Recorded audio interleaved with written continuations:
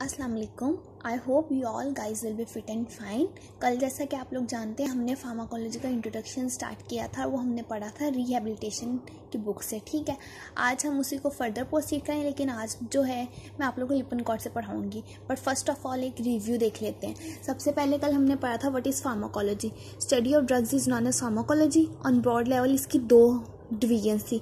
Pharmacokinetics and फार्मेकोडायनेमिक्स pharmacokinetics हमने पढ़ा था कि इसमें हमने देखने कि ड्रग ने हमारी बॉडी के साथ क्या करना है, ठीक है?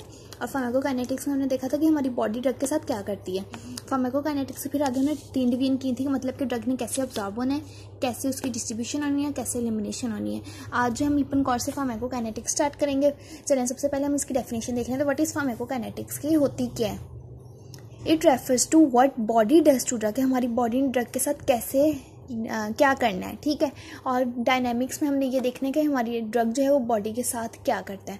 अच्छा फार्माकोकाइनेटिक्स पढ़ते हुए ना इसकी कुछ प्रॉपर्टीज़ होती हैं ठीक है?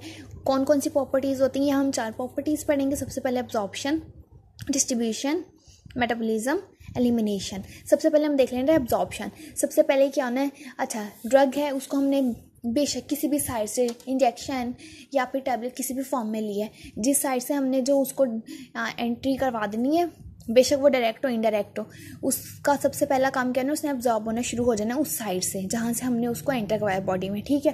उसके बाद डिस्ट्रीब्यूशन आ गया आप देखो ड्रग हमने एंटर करवा दी, उसकी एब्जॉर्प्शन होना स्टार्ट हो गई एब्जॉर्ब हो के, फिर सेकेंड काम क्या होना है, उसने जो है हमारी ब्लड को छोड़ देना है, और उसने जो है हमारे सेल्स और फ्लूड्स में जो है ना डिस्ट्रीब्यूट उसने डिस्ट्रीब्यूट होना शुरू हो जाना है, ठीक है? उसके बाद आ गया तीसरा का मेटाबॉलिज्म सेल्स में चला गया। सेल्स में जाके फिर उसने कैसे मेटाबोलाइज होना है, वो हम देखेंगे उसका मेटाबॉलिज्म ठीक है? उसने जो है, जाके उसने ट्रांसफॉर्म हो जाना है अपने मेटाबोलाइट्स में।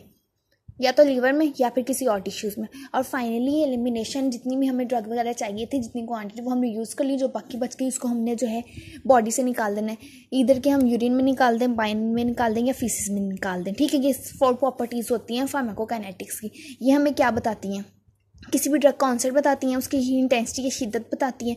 और ये बताती हैं कि उस ड्रग ने कितना टाइम लिया अपने एक्शन परफॉर्म करने में। ठीक हो गया? ये सारी इसकी फार्माकोकाइनेटिक प्रॉपर्टीज़